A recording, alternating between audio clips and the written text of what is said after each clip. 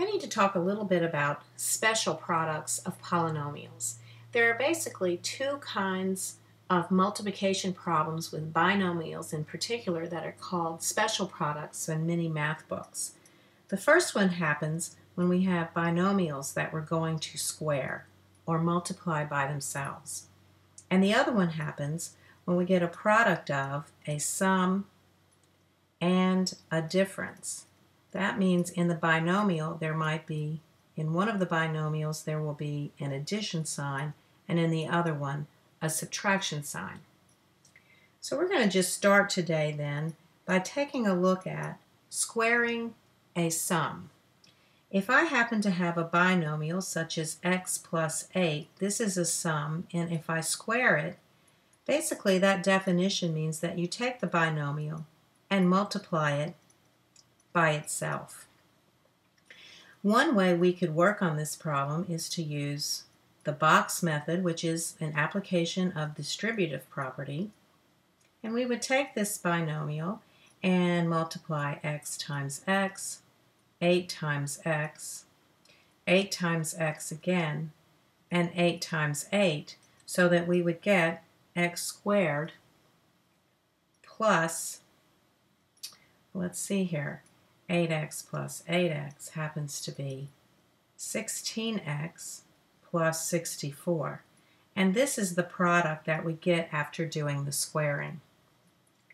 What we may or may not know is there is a special formula to help us do this very quickly. And it's in the form a plus b quantity squared is always equal to a squared plus 2ab plus b to the second. I'm going to show you how to do this problem that we just did without the distributive property, simply following that particular formula. So if I were going to do that, I could start over with x plus 8 squared, and what I would really need to know is something really important like a. What is a? a in this case will be x, and b in this case is going to be 8. So when I follow the formula, a squared plus 2 times a times b plus b squared, then what I would get is x squared plus 2 times a times b plus b or 8 squared. And now I just simplify. So what I get finally for my final answer is x squared plus 16x plus 64.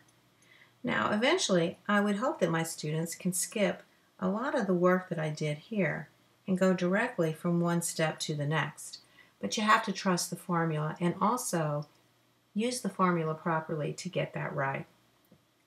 Now we can also square a binomial that happens to be a difference, such as 3x minus 4 quantity squared, also known as 3x minus 4 times 3x minus 4. Using our trusty box and the distributive property, I can certainly do this in this manner. 9x squared is the result of 3x times 3x. This would be negative 12x, negative 12x, and positive 16.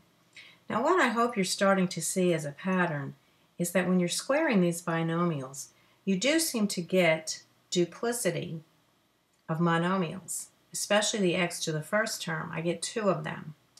And that's how I know that this particular formula will work. If I have a minus b quantity squared, my shortcut is a squared when I'm doing a difference, I need to put a subtraction symbol here. 2 times a times b plus b to the second. So let's just see now how this would be done if I use the formula instead of using the distributive property. So I'll start all over with 3x minus 4 quantity squared. And what I'm going to say is that I know in this case that a is the monomial 3x, so that a squared will be 9x to the second.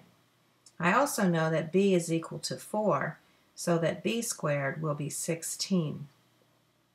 Now, when I start to think about what is 2 times a times b, that will be 2 times 3x times 4, which is actually 24x.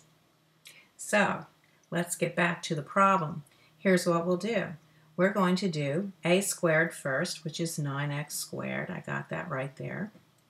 I have to put a minus sign since I have a difference instead of a sum. And then I put 2ab, which is 24x, and then I'm going to be finding b squared. So this is the product, which is the result of squaring the binomial 3x minus 4. There's one more type of special product, and th this special product is when you're actually multiplying a sum, such as x plus 2y, times a difference where a and b are the same. If we use a box, I'm going to give myself a little extra room for some bigger terms here. And I set up the difference here, and perhaps I set up the sum here.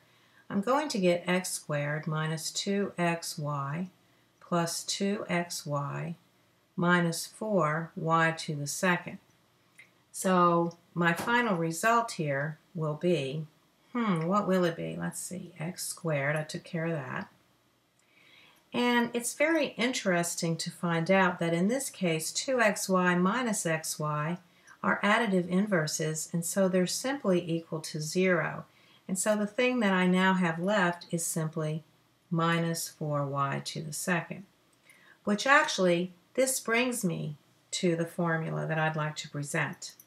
The formula I'd like to present for a sum times a difference when a and b are the same is simply equal to the first monomial and then subtract, that would be the first monomial squared, subtract the second monomial squared. So I'm going to go back now and work on that exact same problem I just did on the previous screen. And I can see that a is equal to x, so a squared is x squared. b is equal to 2y, so b squared would it be equal to 2y to the second? That's a power of a power. So now let me just find a nicer color.